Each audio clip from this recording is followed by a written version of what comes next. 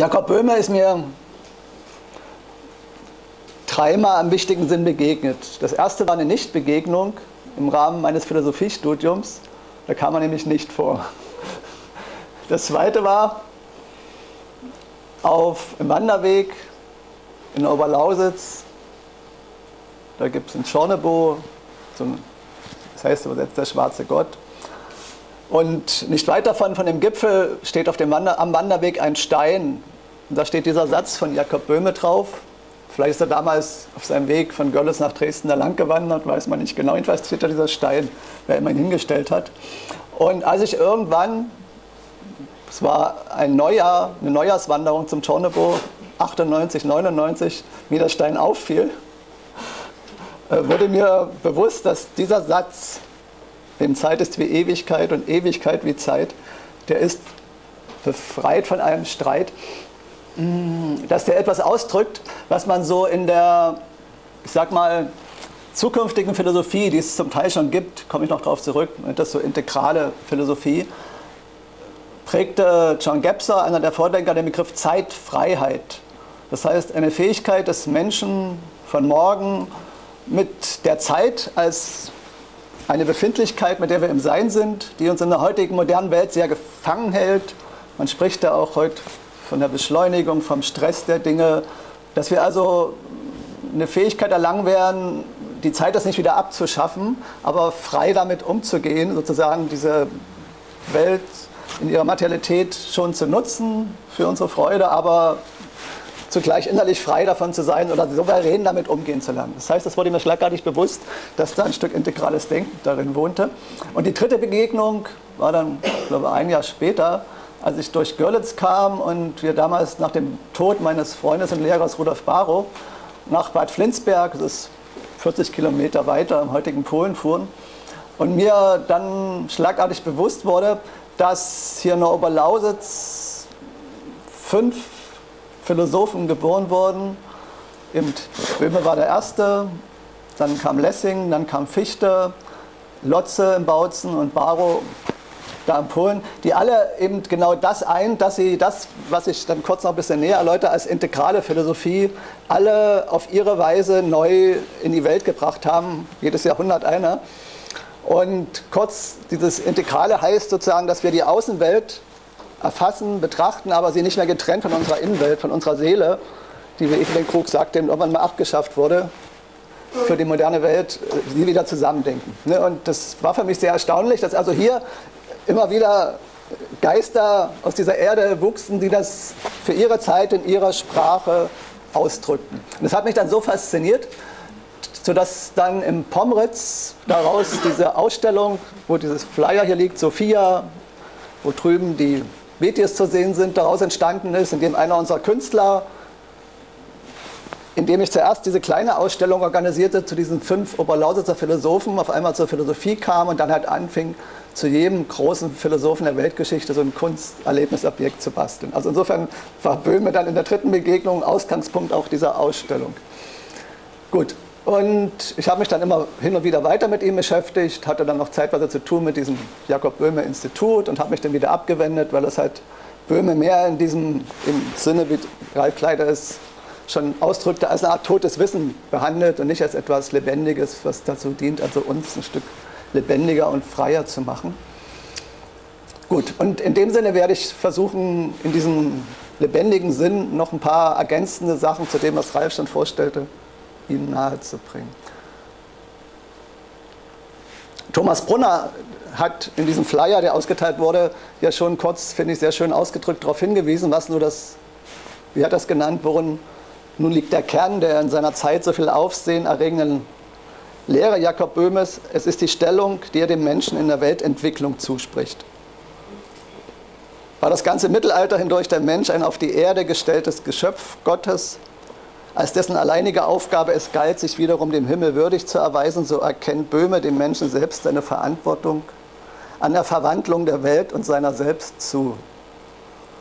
Der Mensch ist nicht mehr nur von Gott an seinen Platz gestellt und damit gattungshaft an seinem Stand gebunden, sondern nun steht er als individueller Mensch verantwortlich im ganzen Weltgefüge, im Spannungsfeld von Natur und Geist. Also finde Thomas sehr schön zentralen Punkt auf den Begriff gebracht, auf den ich jetzt auch noch ein Stück eingehen werde. Ein anderes, auch nochmal zur Untermalung, ähnliches Zitat, das finde ich nach wie vor beste Buch, was über Jakob Böhme existiert, hat mal eine Griechin geschrieben in den 40er Jahren. Es war damals auch sehr gut verkauft, aber weil es doch sehr stark, sag mal, Böhmes Kritik der Kirche ausdrückte, glaube ich, wurde es dann vom Markt genommen. Und darin, also ähnlich gesagt, der Mensch ist das größte Geheimnis, das Gott gewirkt hat, sagt Jakob Böhme leise und mit einem Schauer in seiner Stimme. Er trägt Gott in sich und den Teufel, aber welchem er sich zuneigt, dessen Gefährte wird er. Und darin allein geht seine Freiheit. Wenn also, Hegel wurde schon mal erwähnt, er nannte es, dass die gesamte Philosophie ist letztendlich ein Fortschritt im Bewusstsein der Freiheit des Menschen, so war Jakob Böhme der, der also diese Fähigkeit zur Freiheit eigentlich in die, sagen wir mal, westliche Wissenschaft, westliche Philosophie wieder eingeführt hat. Und dazu jetzt noch ein paar Worte von ihm. Also eines seiner Zitate aus der Aurora, ich hatte ja erst schon in der Diskussion den allerersten Satz gesagt. Ich vergleiche die ganze Philosophie, Theologia, genau ist nochmal der Satz, samt deren Mutter einem köstlichen Baum, der in einem schönen Lustgarten wächst.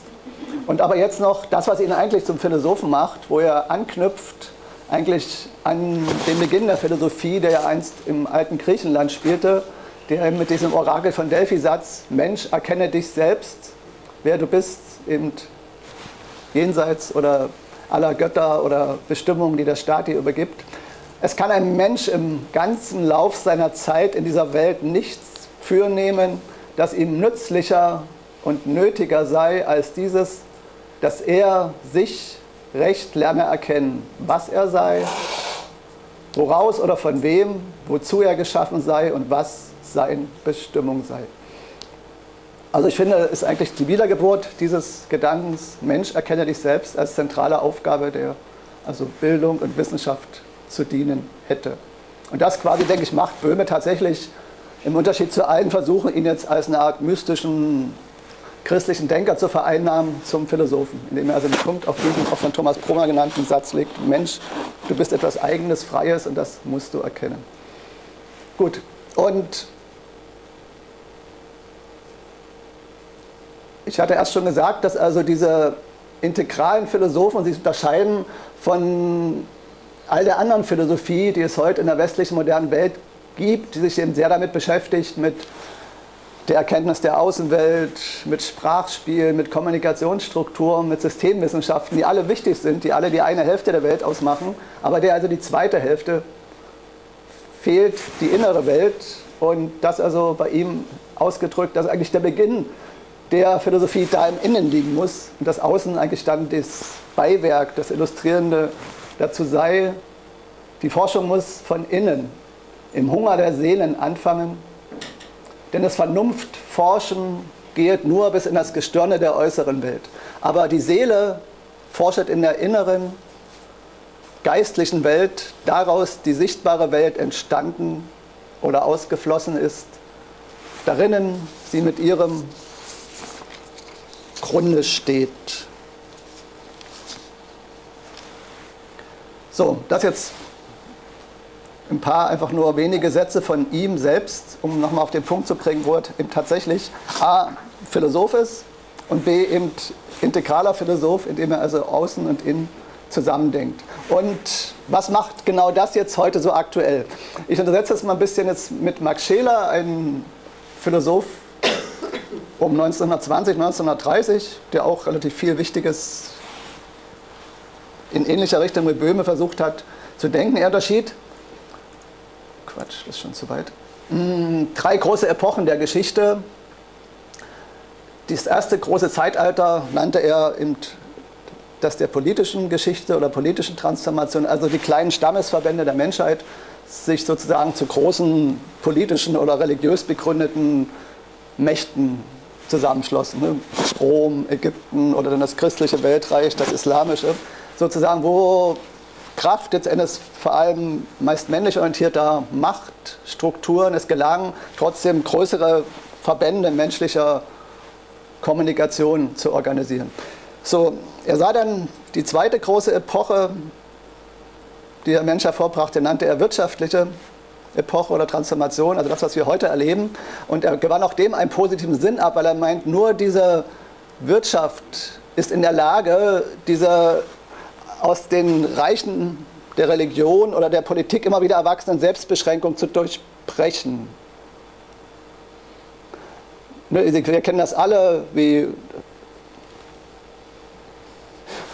heute, ob nur das Christentum, der Islam, ob China, ob Russland, die USA, also immer noch die, diese sich kulturell oder national definierenden menschlichen Einheiten sehr viel Energie darauf verwenden, ihre Grenzen zu bewahren, sich von den anderen abzugrenzen.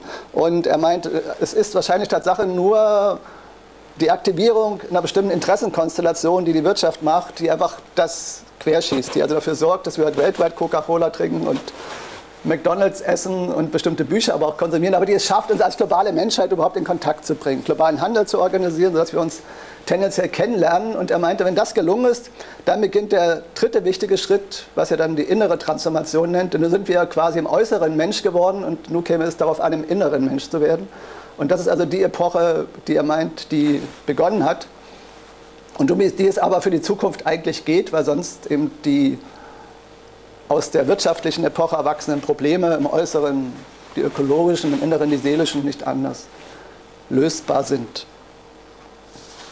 Scheler, weil heute auch schon der Begriff Geist hier nochmal auftauchen wird, fand übrigens auch eine ganz für mich interessante Erklärung, was Geist sozusagen in menschlicher Kompetenz bedeutet. Und zwar brachte es, ich glaube, in dem Buch über die Form der Empathie auf den Begriff Geist ist übersetzt in menschliche Kompetenz die Verbindung von Liebe, das Wort fiel ja heute schon bei Böhme, und Wissen.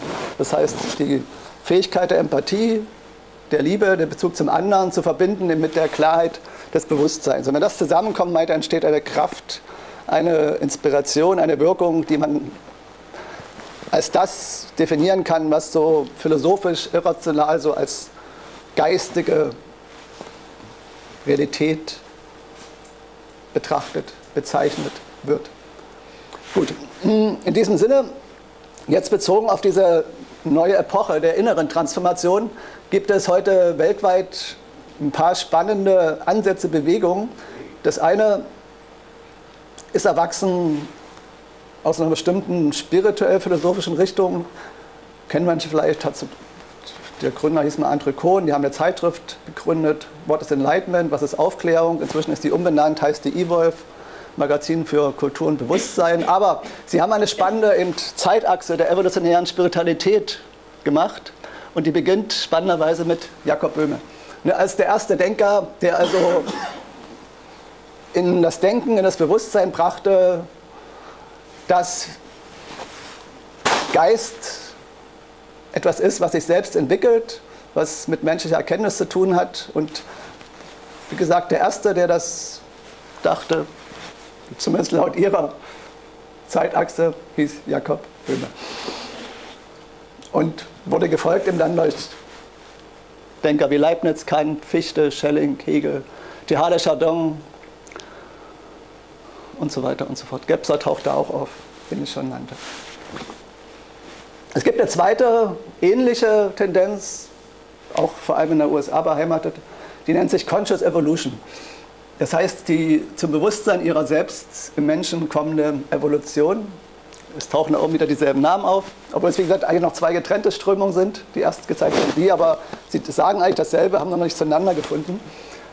Die Grundthesen sind eben, wir Menschen sind, sich, sind uns entwickelnde Wesen in einem sich entwickelnden Universum es gibt in uns eben eine leise innere Stimme oder Sehnsucht dieser universellen Evolution oder manche sagen Stimme Gottes, die wir so in unserer Tiefe, weil wir ja Wesen aus der Evolution geworden sind, hören können und welche letztendlich Grund ist in aller religiösen oder aller religiösen Ethiken.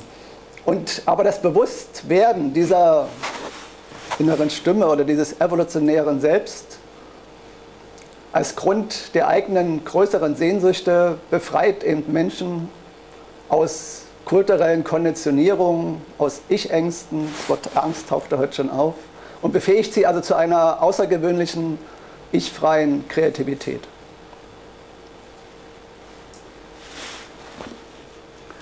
Hier nochmal kurz versucht ein bisschen zu erläutern, was, was ist das Neue, was meint dieses evolutionäre Selbst.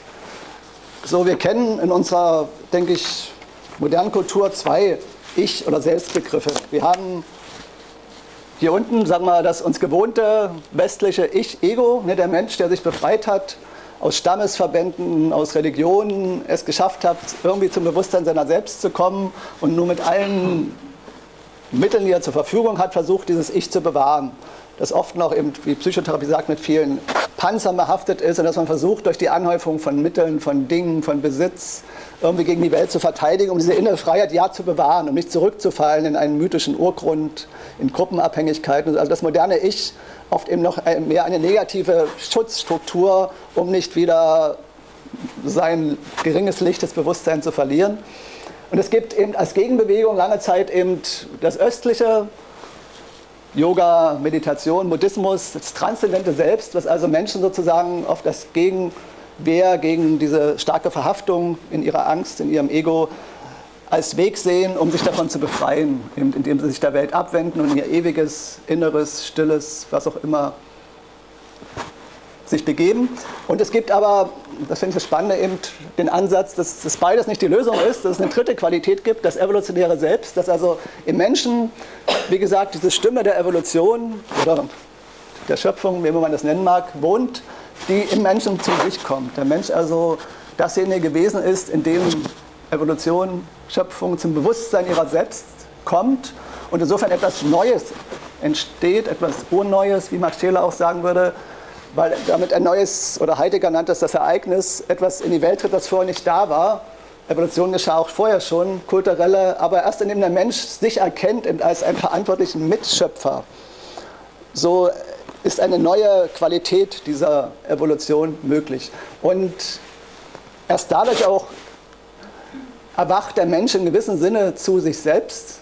Also was Ralf Kleider früh beschrieb, erst dann diese Stufen, die nach dem vierten Schritt eintreten dass also der Mensch dann überhaupt erst anfängt zu begreifen, was er ist, also jenseits seiner Ängste, materiellen Interessen, dass also diese Sehnsucht, die man immer auch schon irgendwo spürt, die aber kulturell entweder religiös eingefangen wurde oder im Modernen verdrängt wird, dass die dadurch eben eine bewusste Qualität bekommt. Und ich finde nach wie vor diesen Begriff, das evolutionäre Selbst oder Selbstbewusstsein momentan den geeignetsten auf dem Markt der Begriffe, um das irgendwo auszudrücken, diese neue Qualität. An ihn anschließend gibt es gibt auch eine Gebser Gesellschaft, aber einer davon ist Alan Combs, kenne ich auch, der lehrt in San Francisco am California Institute of Integral Studies. Und der gibt eine Zeitschrift heraus, die heißt nicht zufällig Journal of Conscious Evolution. Obwohl er, wie gesagt, mit den anderen genannten Strömungen eigentlich nichts zu tun hat, aber hat denselben Namen definiert. Nicht zufällig wahrscheinlich. Und in einer der letzten Ausgaben, 6 2012, findet sich also auch ein Beitrag Conscious Awakening of an Intuitive Mind. Und letztendlich geht es darum, um, unter anderem um Jakob Böhme. Und eine spannende Stelle habe ich jetzt nur hier rauskopiert, also Böhme und die Intuition. Böhme sagt, er kann sozusagen das Chaos benutzen im Universum. Das heißt in anderen Worten, er kann Sinn konstruieren, er kann sozusagen Muster aus dem Chaos heraus gebären und das ist genau das, was die heutige Chaostheorie beschreibt. Also insofern, dass die Welt oder das Universum oder die Evolution im Grund ihrer Dinge eigentlich Energiemuster sind, Schwingungsmuster und dass der Mensch also Kraft seiner sagen wir, geistigen Energie in Resonanz steht damit und das also Tatsache von seiner Aufmerksamkeit, von seiner Entscheidung abhängt, welche Energiemuster er verstärkt oder nicht. Ne? Und also sag mal, selbst auf dieser Ebene, also Böhme sozusagen einer war, der etwas geahnt hat, intuitiv, dass also Tatsache der Mensch Mitgestalter der Evolution auch diesen ganz physikalischen Sinn ist, dass also nicht bloß jetzt geistig, wenn man geistig quasi jetzt nur etwas, etwas Seltsames denkt, man es auch auf die physikalische Welt runterbrechen kann, dass Tatsache die menschliche Energie des Bewusstseins im Sinne der Quanten- oder Chaostheorie unmittelbar Einfluss hat darauf, wie sich die Energiemuster am Grund der Dinge sozusagen ordnen. Ne, dass also Tatsache der Mensch in diesem Sinne mitverantwortlich ist, mitentscheidet, wie sich die Dinge entwickeln. Also insofern fand ich aber spannend, dass also Böhme auftaucht in diesem Journal of Conscious Evolution, also auch wieder nicht ganz zufällig, auch nicht beabsichtigt, aber es hat mich erstaunt und erfreut. Gut, damit komme ich jetzt zum Schluss meiner wenigen Ausführungen, weil es sollte ja heute jetzt im Nachmittag darum gehen, wie können wir jetzt in Görlitz Jakob Böhme also ein Stück wieder zum Leben erwecken. Das Denkmal kennen wir wahrscheinlich, das steht da so relativ verloren im Park.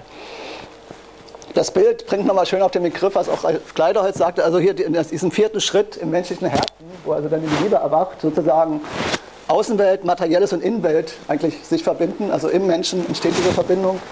Und das ist nochmal ein Bild aus diesem Conscious Evolution Zusammenhang. Ne? Das Mensch, also auch die Erde wurde schon mal erwähnt, wie der Mensch in den Blickpunkt bekommt und da diese Resonanz in der neuen Qualität möglich wird. Und sodass die Frage also wäre, wie könnte es gelingen, eben Jakob Böhm in diesem Sinne, und das, deshalb nicht in Form eines Museums, was ihn irgendwo eben versucht, so als mittelalterlichen Denker oder christlichen Mystiker irgendwo hin was keinen weiter interessiert, sondern diese Aktualität von ihm irgendwo hier in Görlitz eben sichtbar, erlebbar zu machen.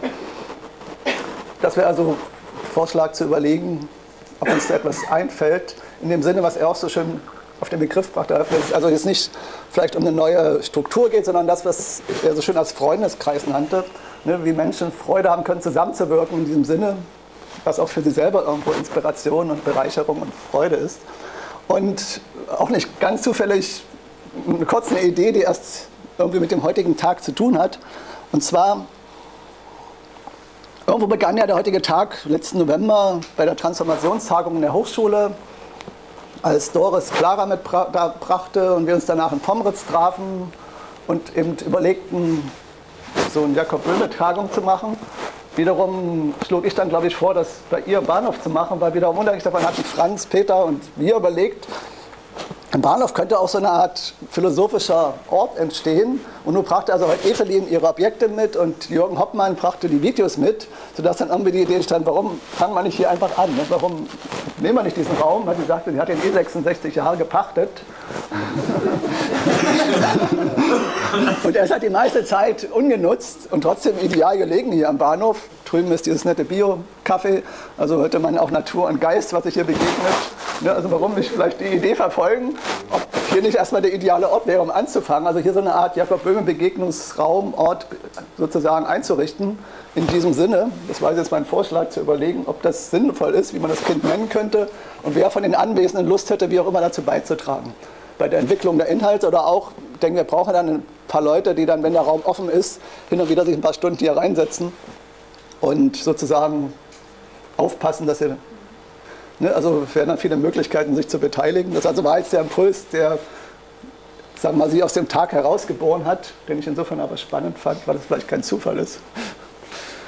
Ja, soweit meine Impulse.